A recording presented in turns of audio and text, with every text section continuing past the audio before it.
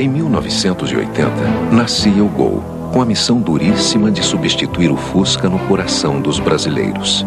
Em pouco tempo, o Gol se tornou o carro mais querido e mais vendido do país. Mas o caso de amor do Gol com os brasileiros estava apenas começando, porque em 94 nascia a segunda geração do Gol, que bateu recordes e fez o Gol superar a marca dos 3 milhões de veículos produzidos. Um sucesso que dificilmente será superado por outro carro. Principalmente porque a Volkswagen acaba de lançar uma nova geração do Gol.